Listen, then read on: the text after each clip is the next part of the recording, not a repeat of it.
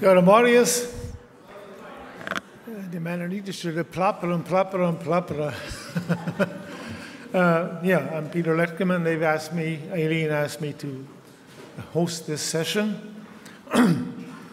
Our first speaker is uh, Miss Naemi Fast from Germany.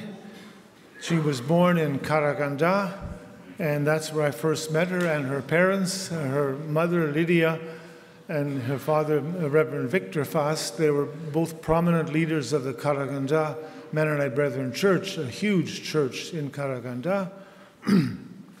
uh, the family was lucky to be able to come to Germany in 1993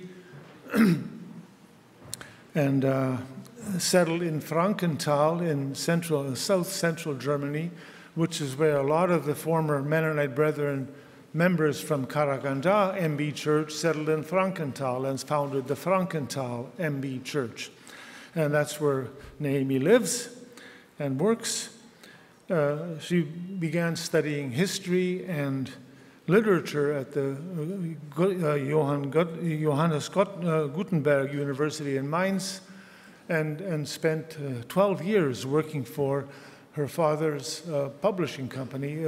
All the Mennonite leaders from Karaganda founded Samenkorn Verlag, and uh, she worked for 12 years as an editorial assistant, editing papers, editing books, writing lots of articles herself, which were published in their magazine called Aquila, which started in the late 90s and is still going strong every three months.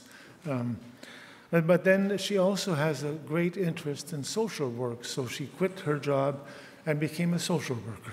She studied social sciences, and since 2018, she's been working as a social worker in Frankenthal and vicinity, working especially with autistic children, with underprivileged children who come from difficult family situations. And also, in recent years, so many refugees have come to Germany. She's also worked with refugee families because she speaks several different languages and, and has, has helped to, to, work with them. And as part of her uh, master's work and uh, master of social work, uh, she had to write a thesis, and so she wrote a thesis that combines history and social work. And she wrote a phenomenal thesis on the Mennonite orphanage in Großweide, which, which is in the Molochna. Um, and uh, she will be sharing some parts of her thesis with us this morning. Guten Morgen. Bitte schön. Thank you very much for this kind introduction, Peter. Um, I must say I'm very, very sorry uh, for not being there together with you now and for missing the chance to meet you all in person. Uh, but I'm very grateful for the opportunity to participate, at least online, and present my paper on the orphanage in Großweide, Molochna, um, even if it's uh, only through the screen. Um, I have to add to what you said, Peter, uh, that I'm still in my research about this orphanage. I have written several things about it, but um, if anybody can contribute something to it, I will be very, very um, thankful. Um, so let me start about the orphanage. It was operated by Abraham and Justina Harder from 1906 to 1922. Most of the orphanage workers and orphans ended up among that group of Mennonites who managed to escape the Soviet Union in the 1920s and made it to Canada. So maybe some of your ancestors have been among this group of people. But that's not the only reason for me to talk about the orphanage today at this conference. Uh, next slide, please. Uh, let me start with this postcard. You can see a building with several people in front of it and the inscription that says orphanage in Großweide in South Russia. Remember the starving orphans. This colored photograph was used as a fundraising tool to be sent to supporters overseas, asking for help during a very difficult period in Ukraine. It probably originates from the famine of 1921-22, after the civil war uh, that had devastated large swaths of Ukraine. Next slide. This is the original black and white version of the photograph. It's the best uh, known image of this institution. It shows buildings, facilities, and people in an idyllic setting. As I will argue in this paper, this social institution in South Russia provides us with an excellent looking glass into the state of the Mennonite community in a time of tremendous outer and inner developments, which changed the well established order of the Mennonite world forever, as we know now. Next slide, please. Uh, so this is a, a, view of the orphanage. Um, as I already said, it was founded in uh, 1906 in the village of Grossweide at the east perimeter of the Molochna colony.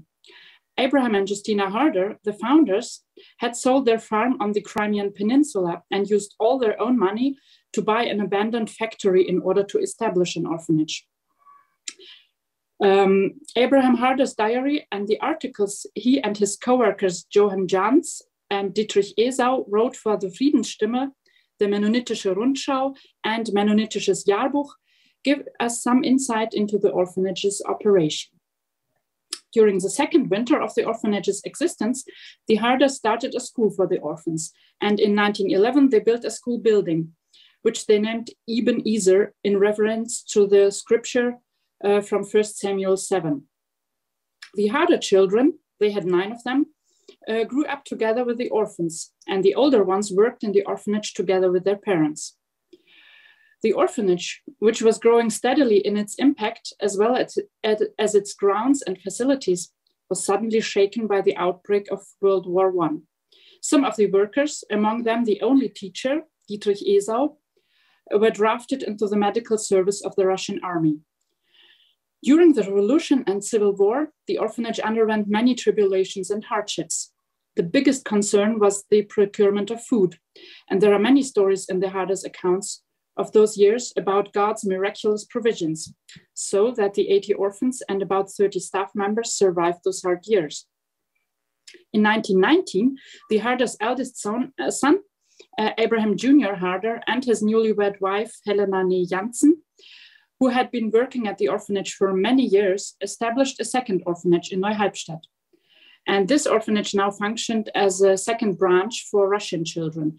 And by Russian, they meant Ukrainians and all the other nationalities that have been there. In 1922, the orphanage was forcibly taken over by the communists, and the Harder family, together with their Mennonite staff, had to leave. So, in total, the orphanage, which was meant to be a life work, operated only 16 years and had been the home of 133 Mennonite orphans in total. Uh, so next slide, please. Um, this is a picture of the Harders with, uh, with their children at some point of the operation. Uh, the Harders lost the orphanage at a time that was characterized by full-scale famine. Not willing to surrender the children to starvation and death, Abraham Harder did his best to place as many of his wards in Mennonite families who were willing to take them as he could. This way, a number of the orphans made their way to Canada with their foster parents, same as several staff members, among them some of the Harder's uh, children. The Harder's oldest son, Abraham, and his wife, Helena, migrated to Germany first, then to Paraguay, and finally, uh, finally to Canada another part of the family stayed in the Soviet Union. And the descendants of this charitable family are scattered around the world today. One of them, Maria Lotzmanova, is here at this conference and she will give a talk later.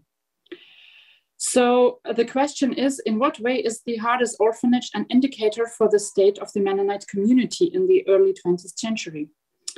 Um, well, First of all, it gives us clues about the way a society treats its weakest members. Um, next slide, please. Let's briefly consider the, Man consider the Mennonite society in Russia around 1900. The Mennonites were by now very well established in the empire. During the 100 years of settling there, they had built several colonies, many schools, churches, factories, and other, uh, and other, other businesses, and had spread widely throughout the empire. In 1911, the industrial production of the Khortytsa colony, with a population of about 12,000 people, represented 10% of the total industrial production of the Russian Empire just imagine that. Uh, this corresponds with the entire city of Moscow with a population of one and a half million. it, Moscow produced 10% of the mm, industrial production of the country as well. So one can say the Mennonites of Russia were very industrious, very successful, and one can assume richly blessed by God. Next slide, please. Um, we can also see around the turn of the century the establishment of several social institutions, such as the hospitals in Muntau, Orlov, in Waldheim, the School for Deaf in Tiege, the Mental Hospital Betania in Einlage, and others. And um, another aspect is as well that the MB church was more or less accepted among the bigger uh, Mennonite society. The schism was already 40 years ago. And both churches had its missionaries in the country as well as overseas. They run Sunday schools, choir festivals, missionary conferences, and so on. So spiritual life in the Mennonite colonies seemed to be as prosperous as the economy. Next slide. Um, yet, just precisely in this time of abundance and prosperity, there is a young man, son of preacher and grandson of an outstanding elder, comes to the conclusion um, even in my younger years, I felt an inner urge to do something for the orphans. So, why did he feel that urge? He doesn't explain it, one can only assume. Why was an orphanage necessary? Uh, next slide. It was custom among Mennonite society to place orphans in other families, usually relatives, but it could be unrelated families as well. The Mennonites had their own dedicated system of orphan care, which basically consisted of three components the orphan office, which cared for the finances and ensured proper distribution of the inheritance, the legal guardian, and the foster family to understand how the system worked, let's take a look. Uh, I wanted to take, uh, I'm sorry, I wanted to take a look on three examples, but I have to skip them because of the time. Um, just uh, saying at this place that if anybody has stories of orphans being placed in foster families from their ancestors, I'll be very happy to, to get them and to collect them. Um, I had prepared three uh, examples and at least one of them shows that an orphan girl had been treated very, very bad in her foster family. Um, so, uh, so now next slide, please. Um, if Abraham Harder felt the urge to do something for the orphans, we have to assume that he must have witnessed the plight of orphans in uh, Mennonite communities in more than just one case. Maybe he had seen bad treatment of orphans by their foster families, contributing to, to the trauma of the loss uh, of their parents and their homes. So for the Harders, founding an orphanage was a big goal in life that they wanted to accomplish at any cost. In his diary, Abram writes in great detail about his fervent prayers and the great difficulties he encountered. The Harders sold their property on the Crimean Peninsula and moved back to the Molochna, where they originated from, giving us a clue to the hardships they endured to see their dream come true.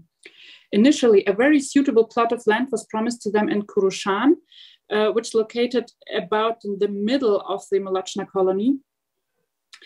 Um, but then the offer was uh, taken back. 12 years later, Abraham writes, um, next slide. In order to start an orphanage, I sought my help from people, but had to bury one prospect after another. But wonderfully, God gave birth to our work, carried it on, and had preserved it to this day. I especially think of the time when I was with the Oberschulze Nickel from Münsterberg and presented the cause to him. When I asked him whether the community would let us have the large shepherd's hut for the foundation of an orphanage, he replied, uh, If we didn't, it would be as if we answered children calling out from a dark cellar, Help us out, with No, we don't. And then Harder continues, how deeply it cut my heart and what struggles it cost me when the community rejected my request after all, God only knows. Next slide. In the end, Harder bought an abandoned factory plot using all his savings of 500 rubles, as well as 200 rubles he had to borrow from wealthy estate owner Nikolai Schmidt. Later, Schmidt donated that sum to the orphanage and supported it with several large donations. Uh, we can see that the orphanage was mostly funded by the private initiative of the Harder family. However, it was supported by several prominent members of the society as well. Um, this slide is showing um, a, a, map of Großweide with the orphanage in the left corner. Um, next slide. Um, so this is uh, Nikolai Schmidt and his wife Justina and their large estate in Steinbach. Um, Abraham Harder mentions them quite often in his diary and in his letters. So they were friends, and uh, the Schmidt family supported uh, the orphanage financially and in other ways as well. Next slide, please. So another supporter was Abraham Kroeker, the editor of the Friedensstimme, the popular periodical that was distributed broadly among the Mennonite society all over the country. It's probably mostly thanks to him that the orphanage was featured often and lar largely in a very positive light. Some of the reports feature a reproach directed at the Mennonite community in regard to their attitude toward the orphanage, such as in the announcement of the inauguration, as you can see on the next slide. Um, this slide shows um, the text of um, Abraham Harder's announcement of the inauguration of the orphanage, and then the note of Abraham Kroeker. This young work is still little or not at all known in wide circles of our Mennonite community. In many cases, it is encountered with prejudice, or at least in a wait and see attitude. The establishment and maintenance of the institution is based entirely on the principle of voluntary Christian love. I would therefore like to ask all brothers and sisters in Christ, whom the Lord had blessed with earthly means, to ask themselves before God whether they do not also have a task here. It would also be advisable to go there and take a look at the work. Abraham Kroeker. Um, so next slide. Oh. Mm -hmm. Among the supporters was uh, also the outstanding preacher, elder, and missionary Heinrich Dirks, as well as the missionary couple Hubert, and other preachers and missionaries. Um, can you uh, just switch to the next slide? Yeah, okay, this is a correct one. Um, so this is Heinrich Dirks. Uh, uh, Dirks defines the meaning of the orphanage for the Mennonite society as a local need that has been felt along the way, because it is not always possible to find people who can offer a second home to an orphan child. Then Dirks continues with an admonishment. However, by founding the orphanage, let no one who has the possibility and opportunity to take in a poor child be held back from doing so. And let this work of charity be pushed away from him, remembering the word, whoever takes in such a child takes in me, the word of Jesus. This kind of care for fatherless and motherless children should always be given preference over placement in orphanages. This is what Dirk said. Um, then please the slide back because I think I'm, I changed places of them. So the previous slide, please. Okay, the orphanage had a community of supporters who donated all kind of goods, food, money, household goods, such as brooms and potato peelers and other things, and toys. Um, the donations were regularly documented in the Friedensstimme. Among the donors are Sunday school group, groups, women clubs, sewing clubs, and other associ associations, as well as private individuals. So next slide. And next, yeah, this one. But it seems that in the colonies, there were also rumors and prejudice directed against the orphanage, as demonstrated in a letter by teacher Johann Jans to the Friedensstimme. He refers to the prejudices concerning the Harders belonging to the MB church and therefore presumably preferring MB orphans, or um, the prejudice that um, he uses the donated money for building upkeep, building upkeep rather than saving it for the orphan's future and other things. He harshly accuses his fellow Mennonites of being heartless. For example, when the guardians don't visit their wards and inquire after them as the quote shows that I've placed on the presentation. Um, so next slide. Reading the memoirs and accounts written by former occupants of the orphanage gives us an impression of their life at the orphanage. Even by our modern standards, the environment of the orphanage was very child friendly. They had orchards and large playgrounds to play in. The children were provided with all kinds of toys. They even had a bowling alley, which surely was the only one in the entire colony, as one of the orphans, Heinrich Reger, later recounts. They had also bicycles, ponies, and special toys, which the other children that lived in their own families didn't have, probably. Um, next uh, slide. This images, for example, shows a snowball fight in the yard of the orphanage. Um, next slide. The orphanage included different kinds of facilities and opportunities for education and leisure activities. I've already mentioned the school, but there also were workshops and a sewing, a sewing room. The June 1911 issue of the Friedensstimme contains a very entertaining report of a field trip to Kotica, written by some of the children themselves, which shows how much effort was put into their education and well-being. Next slide. So, but perhaps the most important thing the orphans received from the Harders was the loving care and a sense of belonging that they couldn't find elsewhere. All of the children accounts I have been able to review so far show how much they respected and loved the Harder parents and how they felt loved by them, even though they had to share them with many other children. Next slide. Abraham and Justina were called Papa and Mama by the orphans, by all of them. Some of the other workers are also remembered with love and fondness by the children. Um, some of these workers later uh, adopted orphans, as was the case for the Boschmann family, for example, who took in five of the orphans. Um, next slide. And um, let me tell you about Heinrich Rempel, who later took his foster parents' name Hubert. His account, beautifully told by Hilda Dück, provides insight into the soul of a child that has lost his parents very early and was separated from his siblings at a young age. He fondly remembers the care he received by the Harders during the last two years of the orphanage's existence, as well as when the institution was taken over by the communists.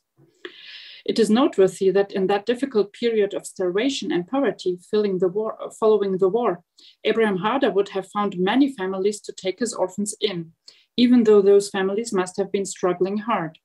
So could it be that at least some of them had been softened by their own endured hardships? Um, next slide. There is much more to be told about the orphanage. Uh, so if anyone has any source materials to add to my collection, I'd be very grateful. Let me conclude with a farewell picture of the Harder family in June 1924, right before their son immigrated to America. So this is the farewell picture. And several years after that, Abraham and Justina Harder had to flee the Molochna. And now the next picture, um, uh, they spent their last years in a dirt hut on the Crimean Peninsula with their youngest children and their sick daughter Anna. Justina died in 1936 in this dirt hut. Abraham was deported during Second World War and died on the way to Siberia. It took a long time until his own children in Canada found out about their true fate. So this is what I wanted to tell uh, today. And again, thank you for listening to me. And I'll be happy to hear from you what you would like to add, to comment, to ask?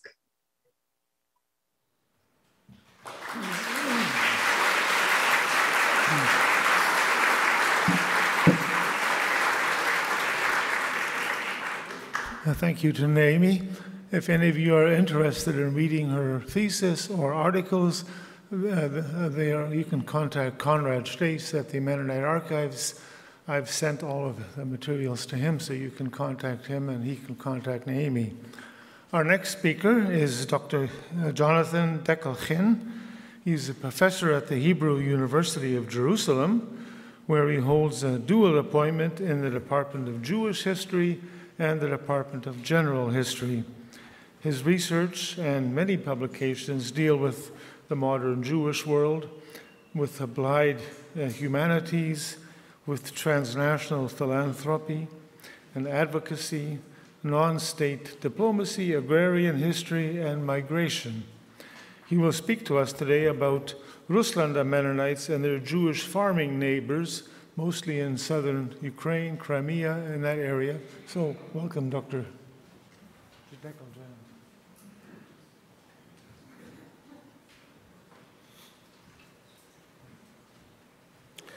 Thank you, and uh, many thanks to Aileen, Ben, and Jeremy for uh, inviting me to come to Winnipeg. It's a first visit, and from my uh, short conversations up to now in the last hour or so, I realize that I'm probably the only person in the room who isn't related to someone else in the room.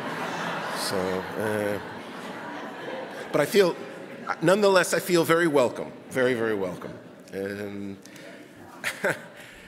so, uh, very well. Um, now, after the comic relief, we'll get into a subject that is perhaps new to many of you, um, but I thought that in, in, with the organizers that it would be uh, something interesting to present, something you know uh, quite new and, and, and, quite different, I would assume. So my premise today in, in, in, in today's um, presentation is that there's something to be learned by comparing the lives and fates of Russlaender Mennonites to their Jewish farming neighbors in Imperial Russia and uh, the Soviet periphery, as well as Jewish farmers elsewhere during the same time period, meaning roughly the last decade of the 19th century, moving into the first decades of the 20th. Time allows today only for a few points of comparison during more than a century of coexistence between Jews and Mennonites in southern Ukraine where both of these ethno religious minorities survived under authoritarian regimes with ever changing conditions of rural governance. It's been quite a treat to think comparatively about these two projects. I had not done it before. Uh, they're very different, but surprisingly similar. So, along the way, I've thought about um, the internal workings of these two ethnic minorities, uh, both of them very distinct from the surrounding indigenous populations where these colonies arose. And secondly, what is the treatment of each community by the regimes, whether it's imperial, Russian, or Soviet? What does that say about the sites of colonization? And I'll show you shortly, shortly some maps, so we'll see we're talking about exactly the same places, and the shifting political environments in which they lived. So authoritarian autocracy to Bolshevik communism. And lastly, what are the measures of success for the colonists themselves, whether we're talking about Mennonites or Jewish colonists, given that the final chapters in both of these projects, um, they came with immense trauma, uh, some of which you certainly bear here in the audience. For those less familiar with Jewish agrarianization in Russian-speaking space, here's a thumbnail sketch Um, it all began uh, with Tsar Alexander I's Jewish statute, which launched the Jewish colonization program in Imperial Russia in 1804, many decades before some of you may be familiar with a subsequent project of Jewish colonists, farming colonists in North America and in Manitoba and Saskatchewan specifically. Through this colonization to New Russia, which this area that's circled in blue uh, was called at the time New Russia. It had just been conquered and annexed uh, by his grandmother, actually, Catherine the Great, Alexander hoped to avert interethnic violence that would, uh, in, in, a, in a different location where Jews actually did live in what was called, or would be called shortly, the Pale of Settlement. Today, roughly within the borders of Lithuania, Belarusia, Russia, and Ukraine, but, but not down there. And thirdly, like the Mennonites, and the Russian regime wanted Jewish colonization from north to south to this area to help whiten newly annexed territories around the Black Sea. Um, the first colonists departed the Pale of Settlement and arrived around Kherson, so not far from Mennonite settlement, in 1807. They all suffered enormously because of a lack of previous experience and administrative neglect. Um, where that blue arrow is, that would be the first concentration of Jewish colonies, again, very close to, to Mennonites. Later on, um, his successor, Alexander First successor, Nicholas First, expanded Jewish colonization to include Bessarabia and areas further to the east around Zaporozhye and uh, Dnepropetrovsk, or Dnipro, or Ekaterinoslav, depending on what, uh, what time period we're talking about. Uh, what we see here on the map uh, is a, a, a, later rendition of Jewish colonization. We'll come back to it later from in between the world wars. But uh, around where that era was, there were about 36 Jewish colonies before the First World War. I first found interactions on the land between Mennonites and Jews during the second half of the 1840s. And, and why did that take place? It turns out that Tsar Nikolai I, Nicholas I, his provincial administrators decided that something had to be done for these failing Jewish colonies. And by this time, there were, ever, there were already several Jewish colonies and a couple of thousand Jewish colonists in what was then called New Russia. So, what happened? The imperial administrators placed German families, what they called German families, upon investigation, I found that they were mainly Mennonites, inside the Jewish colonies as instructors and kind of models for emulation. Uh, for productive farmers. So the Jews could simply learn from them also by doing and also just by observing. And as far as I could was able to understand, about 145 of these so-called German farmers were residents of the Jewish colonies by 1858. So we do have quite a bit of interaction. Testimonies from the time uh, suggest ambivalent relations between the Jewish colonists and these instructors. And to give you just a view, I mean, the, the, the, the main title of my presentation today is Mirror Images.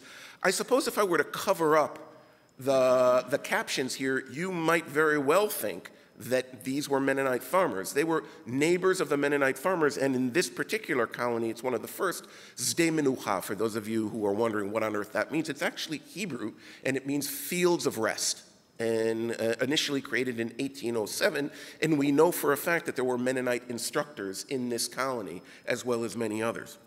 Um, new cross community, and, and, oh, I'm sorry, some of these so called Germans, again, mostly Mennonites, and their descendants continued to live in the Jewish colonies at least until the outbreak of the First World War. New cross community uh, interactions emerged during the Russian Civil War, so roughly 1919 until 1921, with the participation of Mennonite and Jewish philanthropic organizations in Herbert Hoover's American Relief Administration uh, of the many participating faith based philanthropies in the ARA, as it was called, only the Quakers, Mennonites, and Jews remained in Russia after Herbert Hoover took everyone home back to the States in 1923.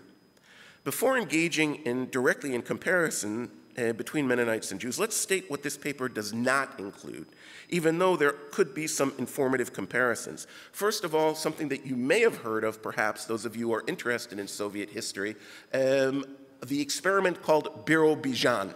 Birobidzhan in the Soviet Far East on the Chinese border. I'm not comparing it because that was really an act of political theater by Stalin, and it had very little real to it. I'm just clicking through, we don't have a lot of time, just to give you some views of what was going on. Uh, this, uh, what we see here, is a, uh, a Jewish farm school, which is a major element of this, of this project. Um, and to just have a look at what they seemed like. This was a Jewish colony, this one in Crimea, in central Crimea around Jankoy. So again, quite close to Mennonite communities from the 1930s. And as you can see, this is now a planned community built entirely by Jewish philanthropic organizations from abroad. Um, and as you can see here, it, this was, of course, posed for publicity purposes, um, but you can see here a multi generational Jewish farming family, much like their Mennonite neighbors. The key here, however, and, and I'll talk about this in a moment, is what they're standing in front of, which is a John Deere tractor in 1925. 1925 in Crimea or southern Ukraine, I'm not quite sure where they were, um, which would have been like science fiction to the local, to the local peasants. Um, in fact, the Agro-Joint, which was sort of the philanthropic arm of Jewish philanthropy in, from abroad in the Soviet Union, imported the first 90 tractors into Russia, period. There were no tractors in Russia, to the best of my knowledge, beforehand. So, um, we have um, within all of this some tantalizing comparisons between, um, well, Okay, some tantalizing comparisons. Again, just to give us some visuals, I won't talk about each one of them. Um, one of them is the trait, and I'm, I'm speaking here a little bit out of school because I'm by far, in, or by no measure, a, a, a scholar of Mennonite history or in Mennonite uh, uh, colonial history, but there does seem to be there do seem to be trends of fragmentation.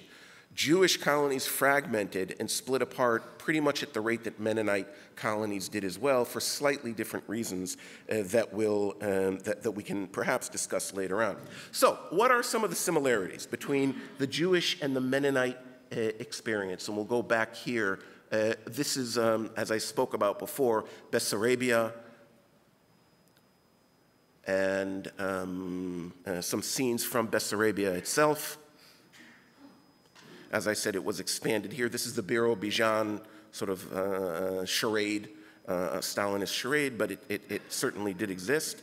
And now we're back to sort of the, the motherland in southern Ukraine and, and Crimea. So what were some of the, the similarities between these two experiments? Again, beginning from the early 1800s and until the Second World War. First, there were multiple sites of resettlement. It wasn't just in one place that evolved depending on political conditions. Secondly, both the Jewish and the Mennonite settlement patterns they had overarching centralized bodies that negotiated for the colonists themselves with state and local authorities. And both Jews and Mennonites did become targets for rural violence. They themselves were not violent towards each other the Mennonites and the Jews, but they were subject to rural violence way before anyone heard Stalin's name.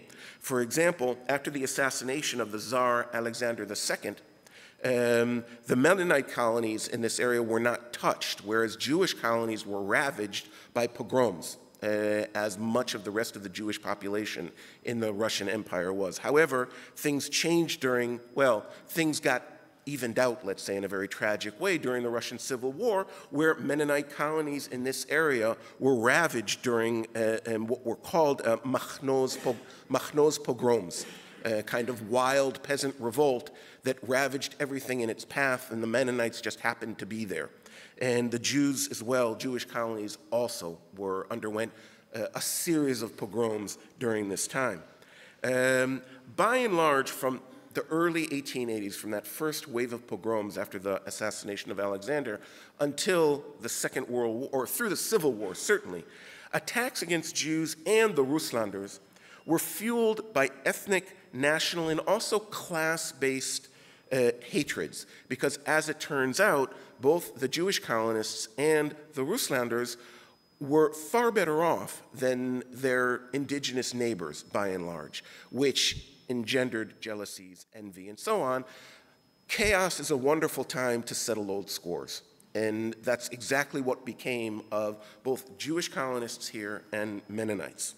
With the coming of Bolshevik rule to Crimea in the 1920s, Generally speaking, the indigenous peoples, which would have included by that point Lutheran, Germans, Swiss, Estonians, Greek, Bulgars, and Russlanders, all of them in Crimea by that time for generations, were suspect in the Kremlin and among the local rulers who were all Tatar communists. So we can blame Stalin for all sorts of things. I mean, it's always fair game, right? But there was also another element in all of this where the local Tatar leaders who had just been empowered by the Bolshevik Revolution. Both of them, both Moscow and Simferopol, the regional capital, saw the Mennonites as kulaks, as wealthy peasants who needed to be eliminated. Um, and Crimea's indigenous communist rulers, these same Tatars, they considered Jewish colonists as interlopers who were soaking up lands through arrangements with the Soviet government that they believed that other Tatars should be able to farm. So they worked very hard to evict, essentially, or to prevent Jewish farmers, Jewish colonists, from coming down from the same area of the Pale of Settlement down here. Um, in 1929, Jewish colonists in this area, the areas that we see here in Russlanders, had similar populations there were about, as far as, and correct me if I'm wrong, there are many more experts here than I know, there are about 79,000 Russlanders in this general area. There are about 100,000 Jewish colonists, again, most of them relatively recent arrivals. They both introduced advanced intensive farming methods uh, facilitated mostly by that transnational fraternal aid. We saw the John Deere tractor. There are many other uh, examples of this. Um, and here we, oh, not yet, not yet. sorry. Um, okay. Um, the individual household farms in both communities were tied together by a high level of cooperativism. Uh, particularly marketing cooperatives, something that gets overlooked a lot, I find, in the, in the Mennonite histories that I have uh, um, read. It was a huge secret of their success is not just sort of the individual ingenuity, but this reliance, this understanding of economies of scale. It's a very advanced concept for the time. Jewish colonies, for slightly different reasons, took that on as well, and hence a reason for their wealth. Um, the preservation of identity was also central in these colonization projects. Of course, you know more than I about how central it was for Mennonite communities, but the Jewish architects of Jewish colonization saw these colonies as sites where a kind of biblical Jew could be, could be uh, um, recreated, and thereby empowering Jews and, and thrusting aside anti-Semitic tropes, anti-Semitic views that had, of course, been very popular in Eastern Europe at that time. Both in terms of similarities, both of them end tragically, both the uh, Russlander experience and Jewish experience. You know about the Russlanders, I'm sure we'll hear more. The Jewish colonies themselves are all wiped out um, during the Nazi invasion of the area. So, sometime between the summer of 1941 and the autumn of 1942, um, almost all of the, by then, 200,000 Jewish colonists are murdered in, um, in um, ravines near, very near their own homes. This is just one, I photographed it um, a couple of years ago. It's actually a Soviet monument in that same place that I showed you before, Sde Menucha. So the children and grandchildren of the people that we saw in those photos are buried here, uh, and murdered very close to their homes. Uh, to the best of my knowledge, and please correct me if I'm wrong, the last remnant of the Russlander presence in Soviet Russia was in Gnadenfeld, and its colonists evacuated with the Wehrmacht in 1943. Differences, differences. First of all, with longevity. Uh, the Mennonite rural agricultural life has continued uninterrupted for centuries um, across migratory resettlement patterns to Canada, Paraguay, and elsewhere. But by and large, Jewish farms everywhere um, suffer from what I call the dilemma of the second or the third generation. The pioneer farmers go and they settle. They have some success. Many of their sons and their daughters decide to move on to easier, better lives. Almost all of their grandchildren decide that farming is not for them. So it tends to be, no matter where it starts and when it starts, a very short term process uh, for uh, most Jewish uh, uh colonization. Uh, other differences isolation versus integration. Um, Mennonite colonies, as you know, tended to and generally succeeded in remaining culture, culturally and socially isolated from their surroundings. And when they didn't, they move off and create new colonies. I would imagine we'll hear about some of that as well. But while Jewish colonists sought safety and economic stability in rural resettlement and away from anti Semitic neighbors, they didn't really want to isolate themselves from their surroundings. That being said, Jewish colonists like Mennonites and other European colonists created and operated their own schools for kids as well as orphanages and other things and taught them mostly in the Yiddish language, not in Russian, uh, until that became unpopular in the mid 1930s. Um, time is up already. Well, that's it then. Um, okay, well, I have a whole world to cover, but no time to do it in. Um, so if that is the committee's decision, then I will um, thank you, and I suppose you can read the rest of it um, when we get around to, with Ben's help, publishing in, in uh, Mennonite studies. So, of course, if there are questions and, and you know I can expand on things, that would be great. And if not, in any case, thank you.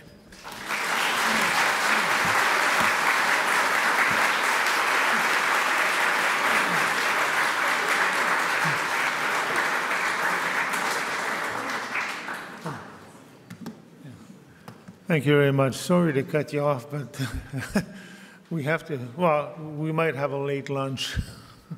Uh, our next, uh, sorry, our next speaker, Dr. Al- Alfred Eisfeld, was born in the Udmurt Republic of uh, the Soviet Union in sort of north central Russia.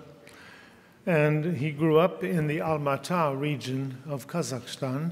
In 1973, the Eisfeld family was finally able to emigrate to uh, West Germany. They'd been trying for years, but they were finally able to leave. and uh, Dr. Eisfeld uh, studied uh, the history of Eastern, Eastern and Southeastern European history and newspaper science, uh, first in Bonn and then in Munich, where he graduated with his PhD in 1983. Since 1987 to the present, he's been involved as a research assistant and then uh, eventually director of the Göttinger Arbeitskreis in Göttingen, Germany. um, and he was also a member of several other international uh, German societies. he has written and uh, edited, I would say, several hundred books and articles on the history of, especially on the history of uh, Germans, including Mennonites, in, in the Russian Empire, in the Soviet Union, and in all the states, republics that have survived, know, come out of the Soviet Union. His most recent book is this one, uh, wie soll es weitergehen? How shall things happen from here? Which is a, a collection of over 400 pages of over 150 original Mennonite documents from the, just from the years March 1917 to December 1918, just those two years, very pivotal years. you know, they had, excuse me, they had survived the First World War and, and you know, the Bolshevik Revolution happened. And then they asked themselves, you know, what happens now? Do we, do we stay under the Bolsheviks or do we leave, emigrate? And so this is a phenomenal uh, book. I've been, I've been working with Dr. Eisfeld on this book. And his, his talk today will be about several aspects of, of these two years in Mennonite history, 1917 to 1918. He will be giving his lecture uh, in German. Uh, I've translated it into English. The English text will be on the screen. Uh, and um, if you have questions later or talk to him later, uh, he understands English, but uh, he doesn't really speak it. So, bitte schön, Dr. Eisfeld.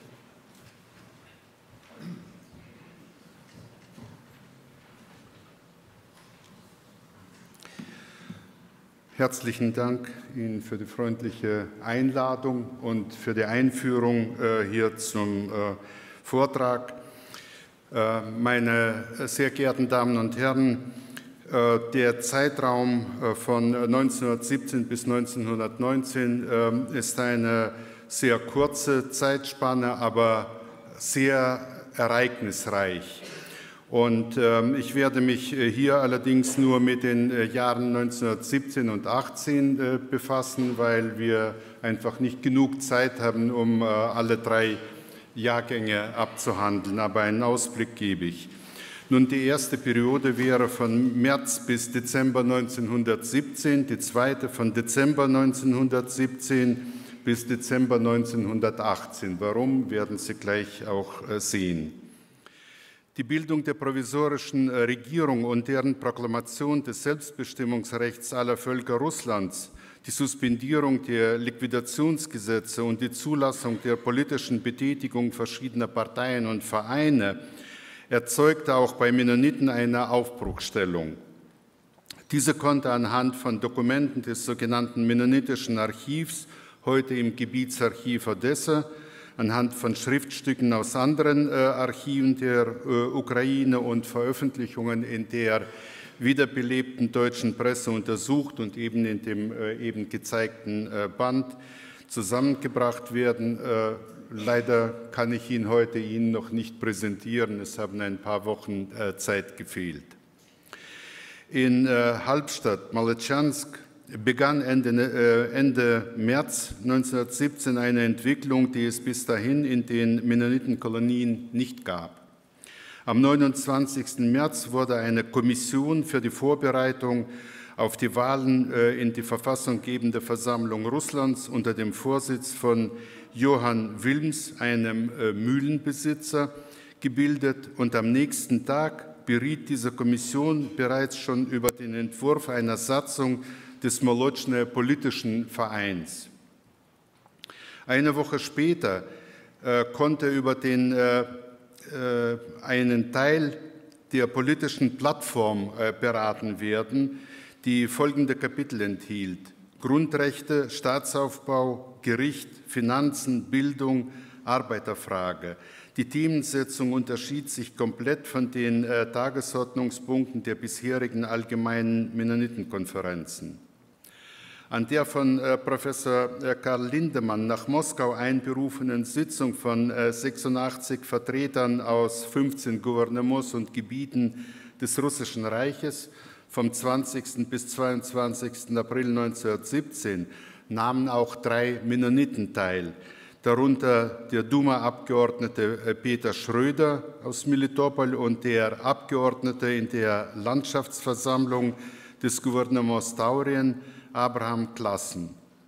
In dieser Sitzung wurde eine ganze Reihe von Beschlüssen gefasst, beginnend mit der Bildung eines Komitees für die Vertretung der Interessen der russischen Bürger deutscher Volkszugehörigkeit und der Mennoniten, der Bildung von lokalen Komitees und darauf aufbauend eines allrussischen Zentralkomitees russischer Bürger deutscher Volkszugehörigkeit und der Mennoniten.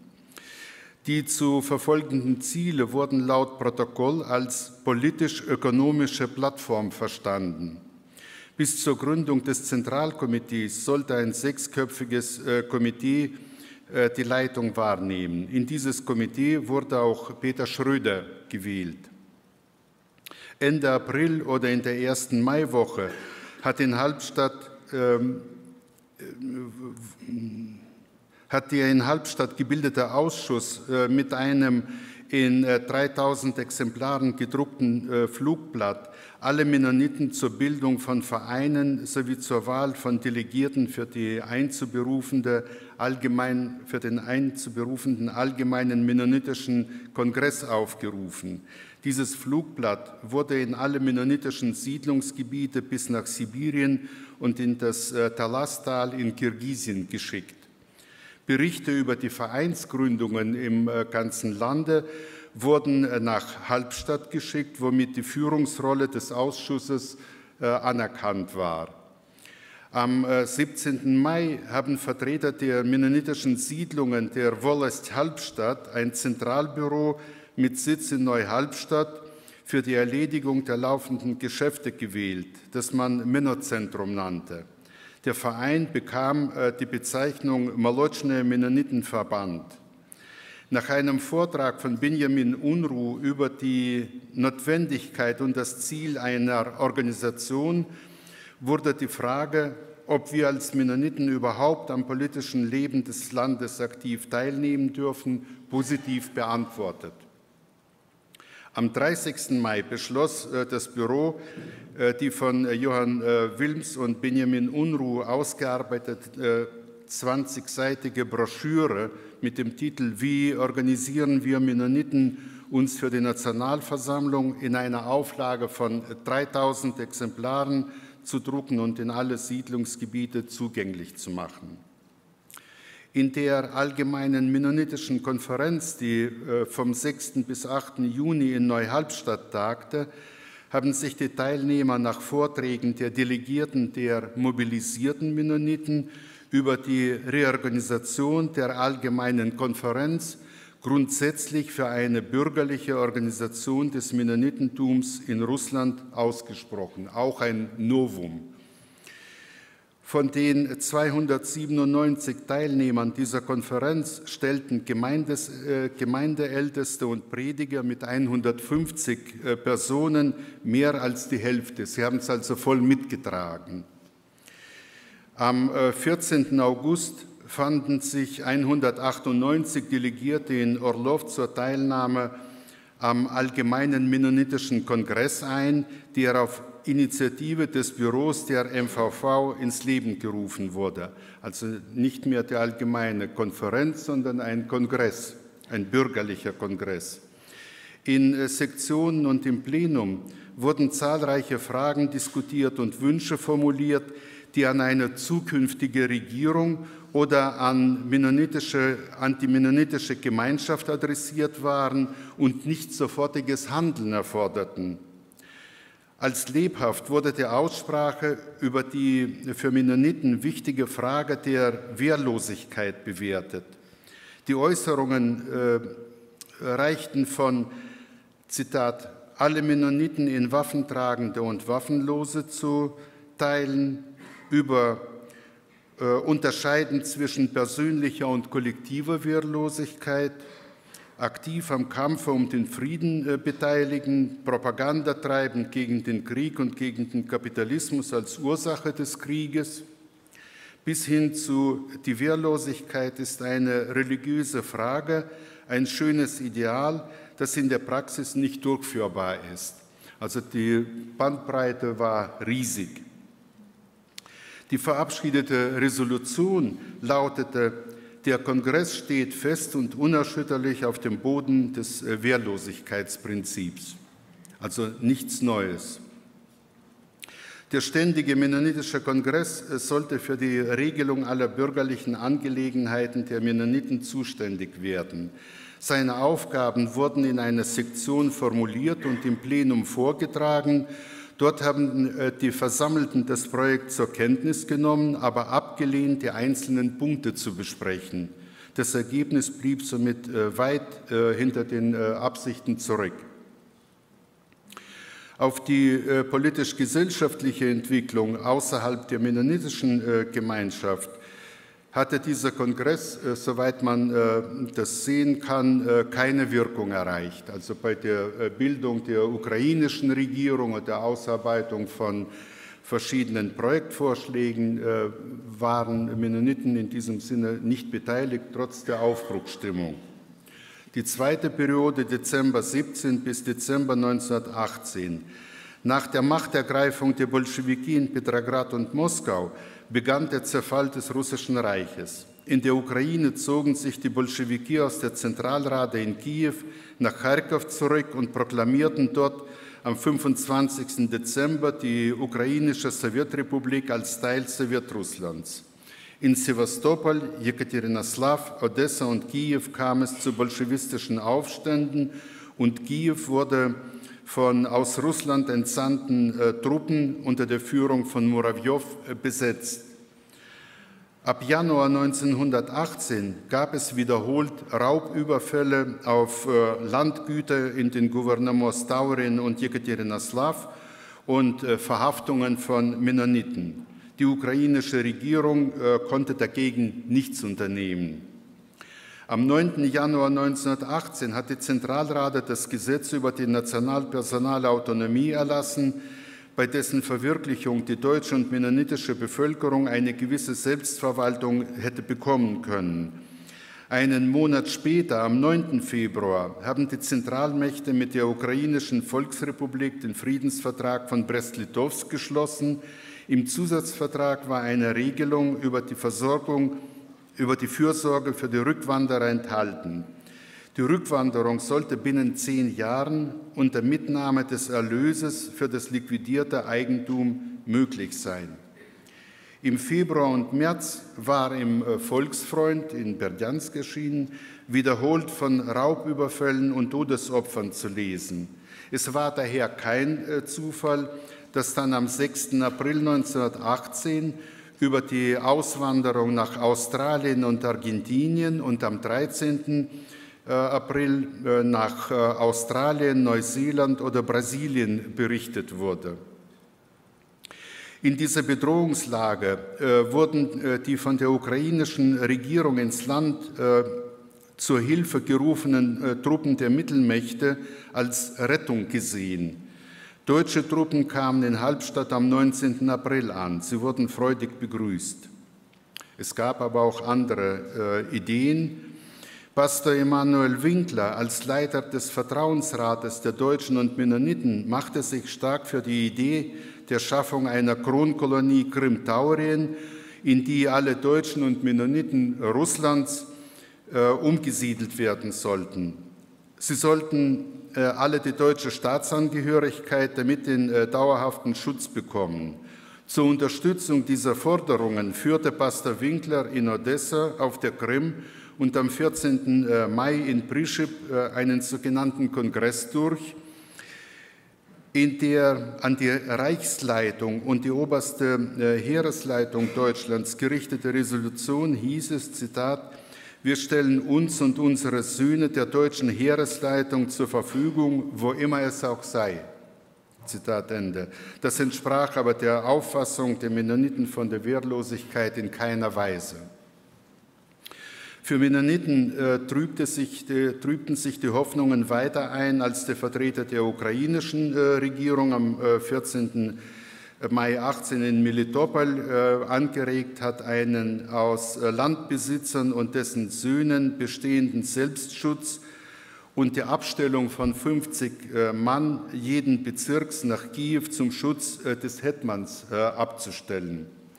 Wenig später forderte die deutsche Kommandatur in Berdjansk die am 30. Juni zusammengetretene Bundeskonferenz dazu auf, bis zum 4. Juli also binnen weniger Tage, eine prinzipielle Stellungnahme zur Aufstellung eines Selbstschutzes für die Kolonien ab, abzugeben.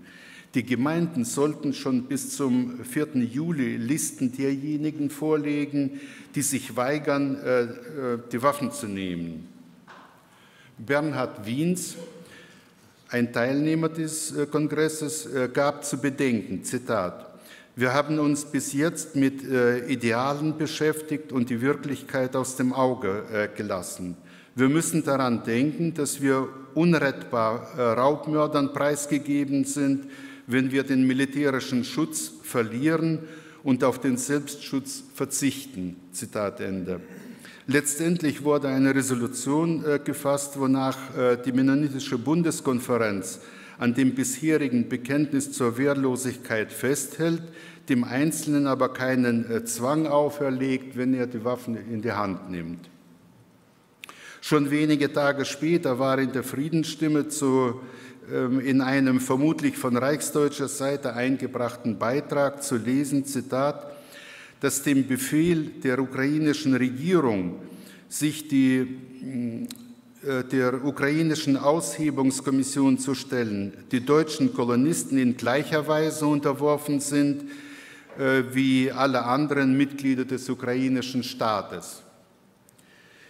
Die kollektive Aufnahme aller Kolonisten äh, des Schwarzmeergebietes wurde von der Regierung Deutschlands auf dem Kronrat am 2. Juli 1918 abgelehnt. Und äh, General Ludendorff betonte für die oberste Heeresleitung, Zitat, bei der Frage der deutschen Kolonisten ist es wichtig, ob die jungen Leute dienen wollen oder nicht. Zitat Ende. Dass Mennoniten dazu nicht bereit waren, ging aus den Resolutionen der Bundeskonferenz klar hervor. Der wohl wichtigste Tagesordnungspunkt allgemeinen äh, des Allgemeinen Mennonitischen Kongresses vom 18. bis 21. September 18 in Orlov war äh, der Bericht von Johann Wilms, der als Mitglied des Vertrauensrates der deutschen Kolonisten im Schwarzmeergebiet sich über die Möglichkeit der Rückwanderung nach Deutschland und deren äh, Ansiedlung dort zu informieren hatte. Er berichtete, dass äh, für die Niederlassung in Deutschland noch nichts getan worden ist. Die Aufnahme von Arbeitern sei möglich, doch die Ansiedlung in größeren äh, Komplexen ist nicht möglich. Für uns Mennoniten ein Faktor, der äußerst schwer in die Waagschale äh, fällt. Nach der Debatte über die Frage einer Rückwanderung kam man zum Schluss, Zitat, unser oberstes Prinzip ist die Wahrung unserer nationalen und konfessionellen Existenz und Eigenart. Sollte ein Verbleiben in der Ukraine nur unter Aufopferung dieser Existenz und Eigenart möglich sein, so wäre eine Massenrückwanderung bzw. Auswanderung geboten. Johann Wilms gab äh, auch Folgendes zu Protokoll, Zitat. Für das Verbleiben in der Ukraine müssen gewisse Garantien gegeben sein, die ein gesichertes Leben in wirtschaftlicher, nationaler und kultureller Hinsicht gewährleisten. Das wäre zu erstreben durch eine exterritoriale Autonomie. Man würde zum Ende in Aussicht nehmen, Freiheit und Selbstverwaltung von Kirche, Schule und Gemeinde, besondere Verwaltungszentrale, proportionelle Vertretung in der Kammer, also im Parlament, und einen Kommissar bei der Regierung. Wenn auch diese Autonomie vertragsmäßig gesichert werden könnte, so kann man ihr doch äh, nur einen temporären Wert zumessen, ganz in Abhängigkeit von der Orientierung der zukünftigen inneren und äußeren Politik. In der anschließenden Debatte wurde wiederholt das Zitat, wir als Hauptbedingung für das Verbleiben in der Ukraine die Wahrung unserer nationalen und religiösen Eigenart äh, Eigenart stellen. Wir wollen vollberechtigte Bürger und nichts weniger sein. Die kulturelle Autonomie muss unsere bürgerliche Vollfreiheit garantieren. Andernfalls wäre Rückwanderung bzw. Auswanderung geboten. Für das äh, Sondieren äh, der Möglichkeiten einer Auswanderung nach Übersee setzte sich auf dem Kongress Benjamin Unruh ein. Ab Oktober 1918 kam es verstärkt zu Überfällen der Machno-Banden, den äh, Selbstschutzabteilungen nur da und dort Widerstand leisten konnten. Nach den Novemberrevolutionen in Berlin und Wien wurden die deutschen und österreichisch-ungarischen Truppen aus der Ukraine abgezogen. Die Mennonitengemeinden auf ukrainischem Gebiet blieben ohne militärischen Schutz und Einbindung in den Staatsaufbau, auch den ukrainischen Staatsaufbau zurück. Nach zwei Jahren intensiver Diskussionen über die Gegenwart und Zukunftsaussichten des Mennonitentums in Russland bildeten die Wehrlosigkeit und die Wahrung der nationalen und religiösen Eigenart den Kern ihrer Identität. Zu deren Wahrung richteten sich nun die Blicke mehr nach Übersee.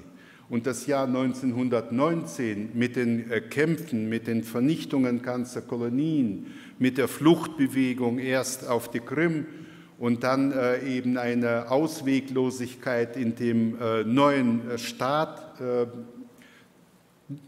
Ukrainische Republik und später Sowjetukraine, hat dann gezeigt, dass die Mennoniten im Grunde genommen eine gut organisierte Minderheit, aber schon fast ein Fremdkörper im ukrainischen äh, Staate waren.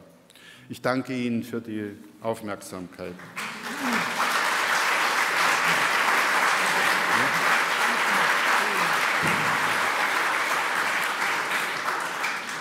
Vielen Dank, Herr Dr. Eisfeld. And for good and for, for last, we get to hear from Aileen Friesen. You've already met her, Dr. Aileen Friesen. she is uh, an associate professor here at the U of W, the executive director of the Plett Foundation, excuse me, and the co-director of the Center uh, for Transnational Mennonite Studies. She is also the editor of Preservings, a magazine published by the Plett Foundation. Her research interests include the history of Mennonites, uh, especially their experiences in the Russian Empire, uh, where she wrote her doctoral thesis, uh, then later the Soviet Union, and also in Latin America, and the history of migration in the 19th, 19th and 20th centuries. She has written extensively on all of these topics. Again, you can contact her to get copies of all these papers and whatever else. Her talk today focuses on the fate of Mennonite women during the years of the Civil War in Russia in the early 19, late, late 1919, 1920s. Aileen. Thank you, Peter. And before I start, I would like to provide a warning to the audience that some of the information uh, that I will be sharing will be difficult to hear as it deals with sexual violence, and I invite you to make the assessment of whether it is best for you to either mute me or to exit the room. This topic is important to understanding the Russlander experience. Nonetheless, it is unpleasant and um, And so more of these details will be given later on in my presentation to give you the chance to make that decision for yourself. I want to point out also that this presentation is preliminary um, because of the sensitive nature of the topic. Digging through sources is necessary and a time-consuming process, and it's highly likely as I continue, continue researching this project, which is part of a broader project funded through the Social Sciences and Humanities Council, Research Council, Council of Canada, that some of these uh, preliminary conclusions might be altered or changed to reflect my new research. And so, one of the paradoxes of the Civil War is that it happens to be one of the most written about uh, periods. There's a lot of literature, a lot of memoirs, a lot of um, memories of the Civil War, but it's also the least understood period. And this isn't surprising. Civil wars, the breakdown of authority, the breakdown of relations between groups, uh, between neighbors, are often difficult to comprehend. However, this complexity is not the only reason. The framing of the Civil War within Mennonite historiography has predominantly, although not exclusively, focused on the question of the self defense units, debating whether or not taking up arms betrayed Mennonite values of non resistance. But what happens when we ask some different questions? Questions like how did Mennonite women view the violence that surrounded them during the Civil War? What strategies did they deploy to navigate this violence? And what does the broader context of violence tell us about the gendered experience of the Civil War? Obviously, Mennonites were not the only group to experience violence, and were not the only group to be forced to make difficult decisions or to have their agency stolen from them. And so, in this rephrasing, um, in this sort of uh, rephrasing of this topic, it's also useful to keep in mind that uh, Dr. Marlene Epp, who is up in the audience, has also written about the experience of sexual violence um, by Soviet Mennonite women during World War II, and that's especially helpful to help us navigate this issue. So, first, we have the issue of how to define violence. During the Civil War period in southern Ukraine, Mennonite villages were regularly the sites of violence as, anti-Bolshevik, as the anti-Bolshevik White Army, the Bolshevik Red Army, anarchists, most, most notably Nestor Makhno and his groups, uh, nationalists, and warlords all fought each other for control of the region. Mennonite villages were often on the front lines of fighting, experiencing bombing, bombardment, shootings, and other types of violence. This presentation, however, will focus on interpersonal violence or the threat of interpersonal violence, which Mennonites as civilians encountered primarily from the Makhnovtsi and the other warlords roaming the countryside. Now, at times, admittedly, it's difficult to tell people apart. However, Mennonites overwhelmingly, although not exclusively, and there's always exceptions in these cases, but they overwhelmingly identify the source of interpersonal violence as being committed by, quote, bandits uh, and not soldiers. Uh, and there is there's an acknowledgement that everyone requisitions food, horses, etc., but that only certain groups are identified as regularly engaging in intimidating, humiliating, and in sometimes um, murderous behavior. So in, these, in this context, um, mothers, Mennonite mothers, often put themselves in danger to diffuse situations with the men who barged into their yards and houses. In some cases, this involved taking the position of authority with these men. Gertrude Barg remembered when the Makhnovtsi entered uh, the, vi the village of Hirschau and visited her family. They demanded to see the, quote, boss, and her widowed mother came out and responded, I am the boss. Uh, and she engaged, proceeded to engage in conversation with them. In the end, they borrowed her wagon and her son, and they had promised that both were, would be returned, and in this case, they were. Uh, later on, they also reappeared in this village, uh, which was inundated by violence, and the, the family experienced um, another set of violence. In another case, case, Agatha Nickel recalled how brave her mother had to be on many occasions to protect her five daughters. In one instance, her mother ordered the girls and her father to hide when a group of men barged into their home uh, while they were banging on the door. Agatha's mother opened the door, welcoming the men into the home and inviting them to dinner. And once they had been properly fed, and this was her technique to calm the situation, then the father appeared in the room, uh, and no harm came to that family that night. Uh, it is clear from Agatha's description that rape was the uh, outcome that the family was hoping to avoid. as she related, we, quote, we were all girls and it was very dangerous for us, end of quote, communicating without directly mentioning the outcome that they, fear, that they desperately feared. Feeding strangers, masking oneself in revelry were all part of the charade of the terrified. Uh, the actions and activities of those trying to avoid escalating the situation or antagonizing those who held their fate. Being good hosts, accepting humiliation were all parts of strategies for survival, especially when villages were occupied. Hoping to ingratiate themselves to those in power for protection, women often bore the burden of this interaction. Other times, mothers didn't take the chance. Um, they would hide their daughters and young children during raids on Mennonite villages. In the case of Mary Epp, her mother gathered up her daughters and took them to a poor home in the village of, of for the night when the bandits, bandits stormed the village. Uh, during a later raid, Mary's father and brother would both be murdered. At times, escalation was unavoidable, and in these circumstances, Mennonites often use a variety of techniques to plead with or humanize themselves in front of their tormentors. Prayers in German and especially in Russian were an attempt to convince people, bandits not to kill them. Sometimes it worked, sometimes it did not. I would also add that language was used in other contexts to diffuse tense situations.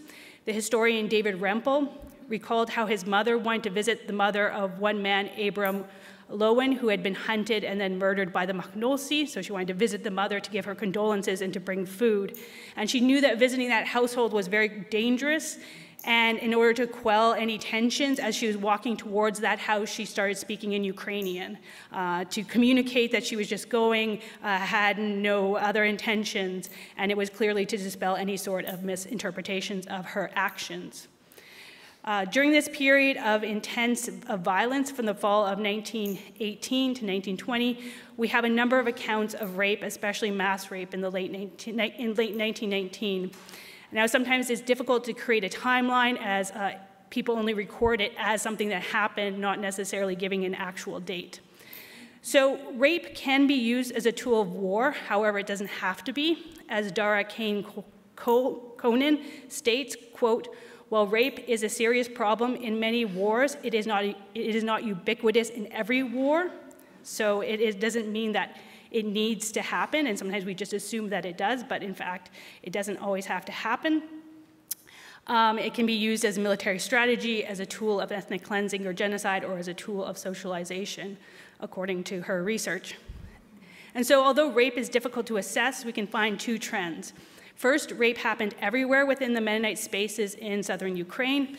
In other words, we find reports of rape from most of the major settlements. Uh, this tells us that it was a technique and a tool within the Civil War, not an individual decision making process in the moment. Supporting this point is the fact that rape was indis indiscriminate. There are several reports that emphasize that age was not a factor. So, children, including boys to elderly women, were raped. And it is also notable uh, a variety of different sources speak to this issue. So diaries, interviews, newspaper accounts, memoirs all raise the issue of rape. And to expand briefly on the idea that, well, rape is a serious problem in war, that it doesn't always necessarily happen in wars, uh, this is important to remember. And this is, I was partially thinking through this issue because I was studying the, the, um, what happened in the Terek colony, in the Terek province uh, during late 1917 to early 1918, in which um, the neighbors of Mennonites forcibly removed them through violence. And in this case, uh, rape practically didn't happen. There were only, according to people who sort of um, memorialized this exodus, there were only two accounts of rape, so it was not systemic uh, in this particular um, region within the violence that was happening. And this is in contrast to the Mennonite communities in southern Ukraine, where it seems to be the Mennonite community itself understood that this was a collective strategy that was being done to them. Um, so C.E. Krehbiel stated the following. So he comes to this region in order to help out. Uh, he's not from the region, he comes to the region in order to help out, and he says the following quote The Machnol had syphilis bands that they sent to each village that they wanted, especially to punish, and these had instructions to rape all they could get a hold of from eight year olds to 80 year olds. So it seems that it was systemic. Uh, it's important to remember that the focus of the accounts of rape are primarily identifying members of, quote, bandits or Makhnovtsi. Uh, sometimes it's hard to tell, distinguish between the two of them. Um, but it doesn't focus particularly on necessarily the Red Army, although there are some cases, and the White Army, although there are also some cases. This is in strong contrast to what we see within the Jewish community, in which there is um, uh, the similar experience of rape taking place but it is being um, done by, quote, anti Bolshevik forces. Uh, so there is, uh, and particularly the White Army, which also raises the question for us that since there were a number of Mennonite men who participated in the White Army, what can we then um, draw out of that? And there still is more research that needs to be done, but absolutely uh, there are accounts of Mennonite men who are in the White Army who are then describing in the recollections of that time what are pogroms against Jews, uh, also describing what is clearly mass rape against Jews. Um, they, in the particular one that I read, did not identify themselves as participating in that, but de absolutely, definitely, they witnessed it. So if we can draw a few parallels between the two, um, similar to Jewish victims, Mennonite victims and descriptions of Mennonite victims also don't use names. Uh, this was a commonality between the two communities, one way in which they uh, was used to most likely protect um, the integrity of the person who experienced um, the rape. There is also ways in which uh, so this, this shroud of secrecy that, that sort of makes it a difficult uh, issue in order to look into academically, but also was a tool used by the community in order to deal and address with the situation. Um, we also have aspects in which um, decades later people have hard time articulating what had happened. In some cases, there is even blame of the victim. Uh, that is, seems to be one way in which the community can also deal with trauma, is that instead of identifying it um, as something that was horrible that happened to them, they try to explain it. So in one case, I found a description of a rape, and a Mennonite woman sort of blamed it on the other Mennonite woman's blasphemy uh, as being the root of the cause of it. Uh, so it's important to keep in mind that the trauma was not only borne by the victim of rape, but because these were, these were often public acts which took place in front of family members or other acquaintances, uh, and that they were systemic, this becomes both a shared, uh, a, a shared experience by people and also a shared investment in moving on quickly from it. So we don't have a lot of sources that tell us what happened in the aftermath, other than the hospitals were filled uh, with girls and women being treated for syphilis, especially in the Chortitza colony. So to conclude, even though we have many gaps in the information that exists, uh, we can find enough information to begin analyzing both women's response to the threat of interpersonal violence and the systemic targeting of Mennonite children and women outside of the framework of the self-defense units, and only when we bring these stories into our understanding of the Civil War will a fuller picture emerge.